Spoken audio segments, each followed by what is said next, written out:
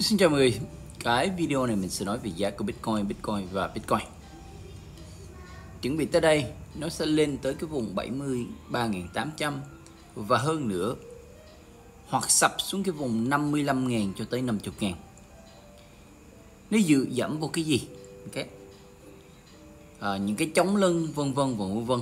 Những con số, những cái tính toán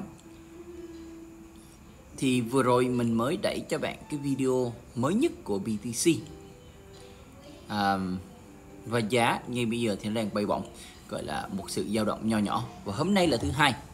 Nhớ là thứ hai là thường ngày thứ hai là một ngày gọi là dao động mạnh. Okay, lúc bạn đi ngủ thì nó mới bắt đầu dao động bởi vì nó sẽ đi theo cái khung giờ của Mỹ. À,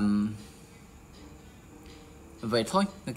Còn à, rõ ràng là ngay bây giờ thì mình đang đi du lịch. Mình về tín hiệu thì mình vẫn đẩy ra bình thường. Nhưng phát trực tuyến thì mình hạn chế. À, hạn chế hạn chế tối đa. À, mình sẽ cố gắng chỉ chủ yếu là đẩy ra tín hiệu để anh em có thể dùng à, để chốt đơn chốt đơn và chốt đơn.